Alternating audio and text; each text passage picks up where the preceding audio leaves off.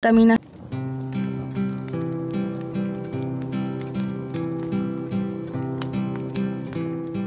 Hoy nos dedicaremos a escuchar las presentaciones finales de cada grupo sobre el impacto de la contaminación atmosférica en la salud. Comenzará el grupo de Andrés. El material particulado del aire, liberado a través de los equipos de combustión a leña, puede vencer las defensas de nuestro cuerpo y penetrar en los sistemas respiratorio y circulatorio, pudiendo dañar nuestros pulmones, corazón y cerebro. La contaminación del aire es la segunda causa de enfermedades no transmitibles, como los accidentes cerebrovasculares, el cáncer y las cardiopatías. Los trabajadores y trabajadoras que realizan sus labores al aire libre están más expuestos a enfermedades asociadas a la mala calidad del aire.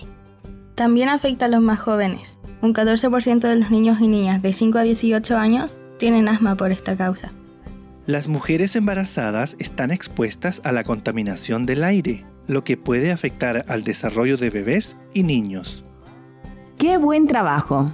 Me gustaría pedirles que lo expongan en la Feria de Sustentabilidad de la región de Aysén, que se realizará el próximo mes en Coyhaique.